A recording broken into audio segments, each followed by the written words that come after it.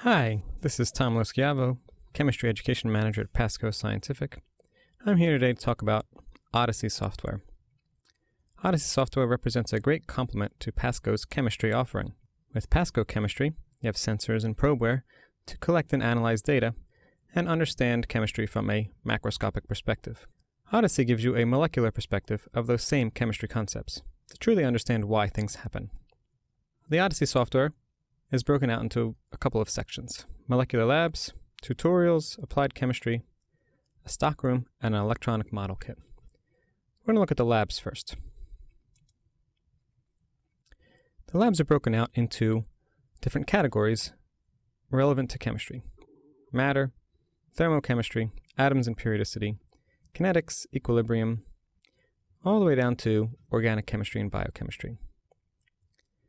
So, looking at gases, one thing we can do is look at the distribution of kinetic energies. So the labs are essentially a tutorial with questions. They tell you how to do the experiment, and then the questions guide the analysis for the students. So it's almost a guided inquiry approach. The teacher's guide will have an answer key, a place for comments, and you can print these labs uh, or have them used as a PDF. So let's see how this works. This is a sample of xenon gas, and we can watch those gas molecules move around, creating pressure. If we want to understand the kinetic energy of those particles, we can look at that in a couple of different ways. From the View tab, we can select Plots, and in Plots, we can look at the kinetic energy.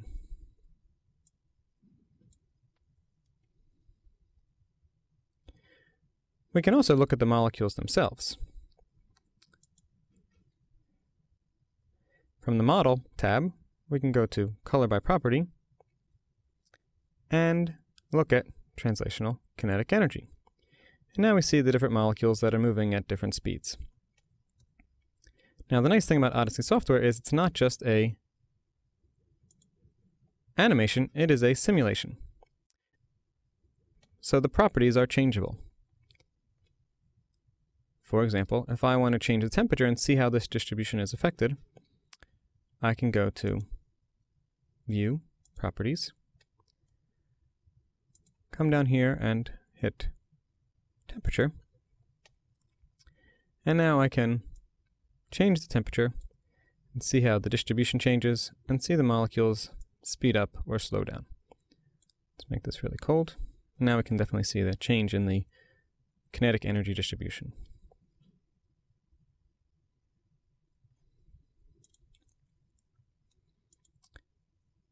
Going back to labs, another interesting lab is looking at a reaction mechanism.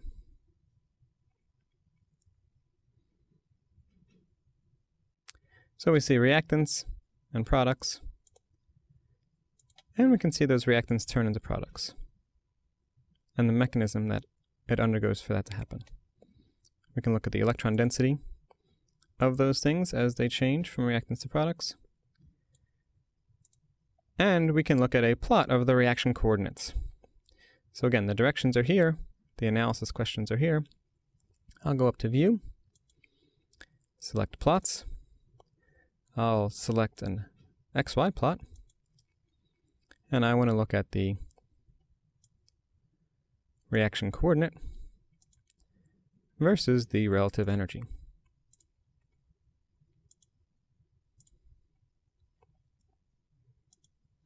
So now if I hit play, I can see the molecules progressing and I can see the relative energy of the molecules as they go from the reactants to the products through their mechanistic steps and transition states. Okay, so those are the labs. Odyssey also has tutorials, which are similar to the labs, but there aren't questions. This is a nice way to get students or yourself using the software to really figure out what it means and how to use it, the types of things that you can do. So if we look at equilibrium, again, with these things, the instructions are right along the side so you can understand how to do things as you learn about the software. So here we see the trans isomer progressing to a cis isomer. And we can put that into a system. And now we can start the simulation and we can see those molecules changing from cis to trans. Now in this case, it's a little hard to see which one's doing what, so we can group them by their property.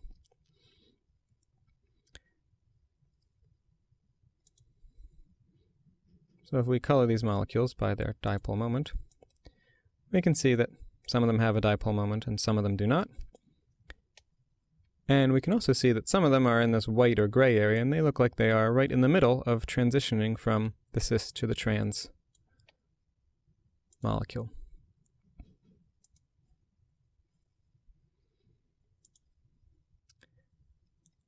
Also in Odyssey, there's an applied chemistry section, which is uh, selected topics from the world of chemistry, interesting molecules there, and an even bigger group of collections of molecules, which is the molecular stockroom.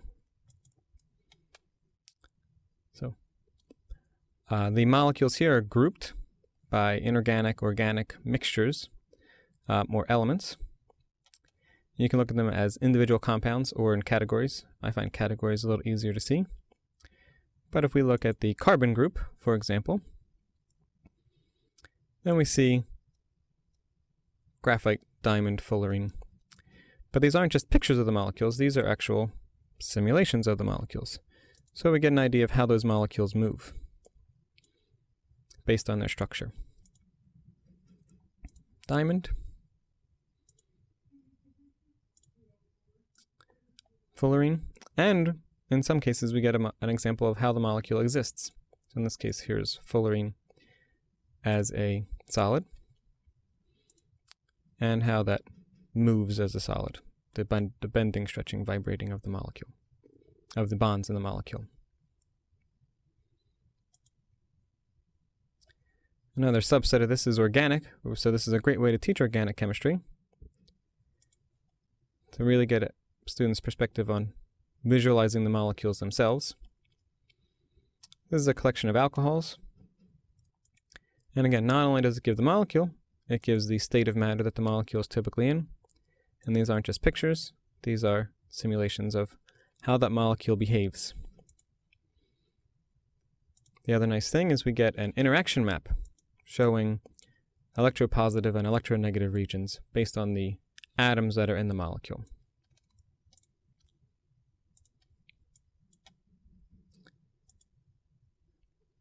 Now, instead of looking at some pre-built molecules, uh, advanced users might want to build their own molecules.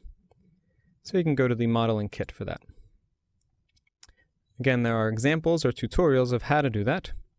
You not only can build molecules, you can build um, samples in situations, so gases or mixtures or liquids. We'll look at a simple example and then a more complicated example. We're just going to build a simple organic compound.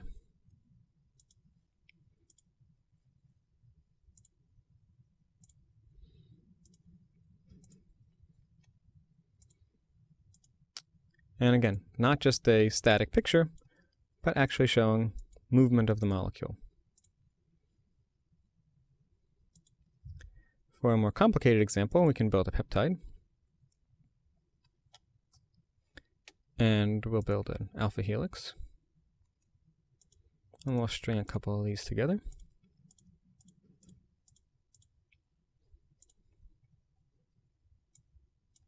So now if we want to see the alpha helix structure of this, we can go to ribbons. And there we go. You can also see the hydrogen bonds that are holding this together. So, the Odyssey software is a great complement to Pasco chemistry. It's not just animations, it's simulations. It's not just building, it's building and putting into perspective, putting into real chemistry context. Thank you very much. This is Tom Loschiavo from Pasco Scientific. Feel free to reach me at chemistry at pasco.com if you have any questions.